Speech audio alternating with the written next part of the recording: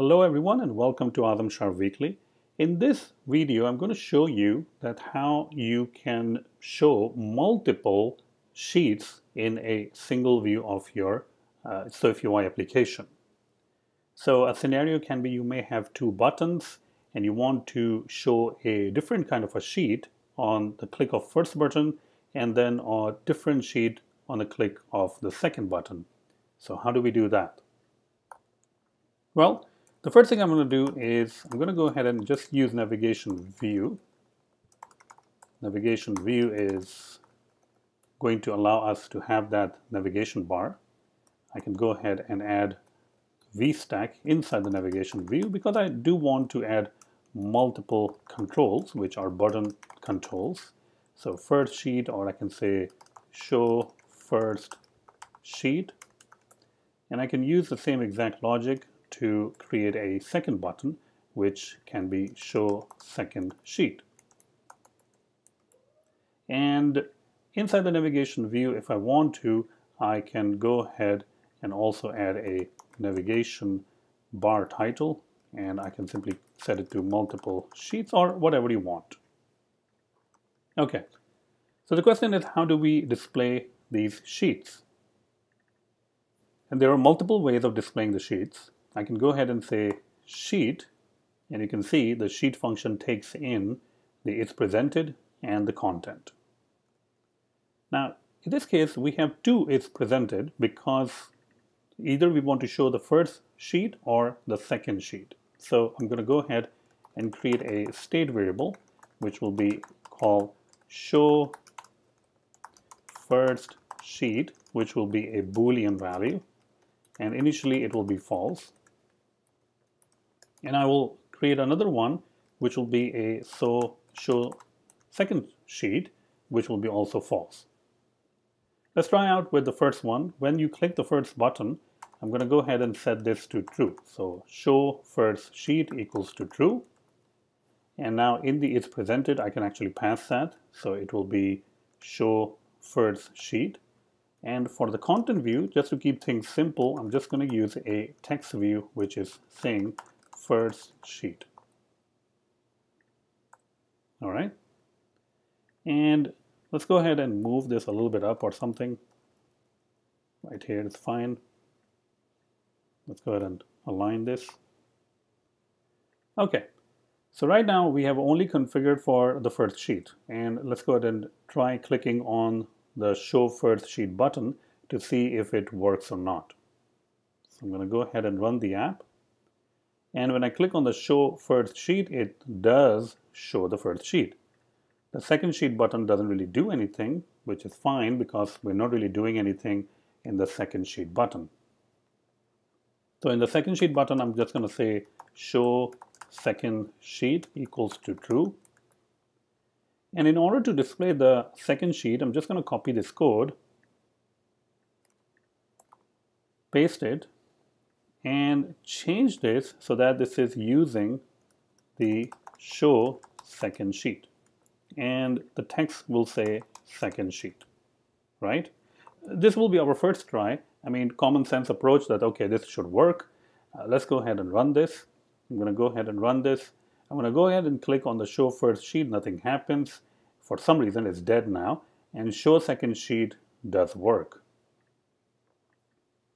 so only one of them is actually working, which is the show second sheet or the one that is coming at in the last. So how can we fix this problem? Well, there are multiple different ways of fixing this problem.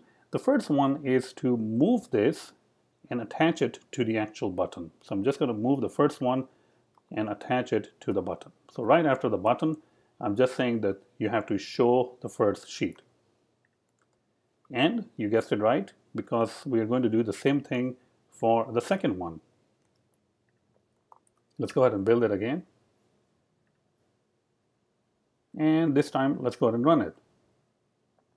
So show first sheet now shows the first sheet, show second sheet shows the second sheet. And this is perfectly working fine and you can definitely use this approach. This is great. There is another approach that I want to show you. I mean, there's nothing wrong with this. You can use it, but there is also another approach. The another approach would be going back to the previous one. There we go.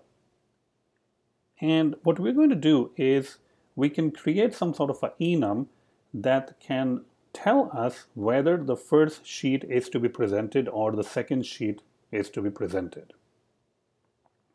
For that, I'm going to create a common is presented boolean property and I will set it to false. I will not really be using the show first sheet or show second sheet so we can simply remove that and replace it with is presented to true and over here also is presented to true and over here also is presented to true or whatever the value is. But how do we determine whether we have to show the first sheet or the second one? Well, for that, I'm going to go ahead and create an enum and I will call it active sheet. In this case, we will have the first and the second. You can be a little bit more descriptive over here, but I'm just saying first or second to say that this is the first sheet, this is the second sheet.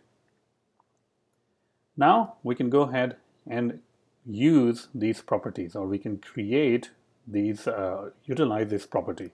So I can say state private var and I can say active sheet which will be of type active sheet and we will set it to the first. So that's the default one.